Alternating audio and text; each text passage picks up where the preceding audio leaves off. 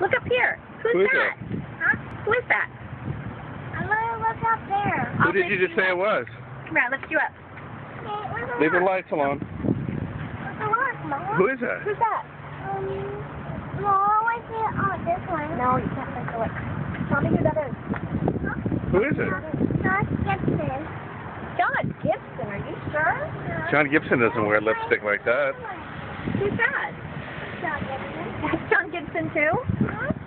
There's two John Gibsons here? Is he on? on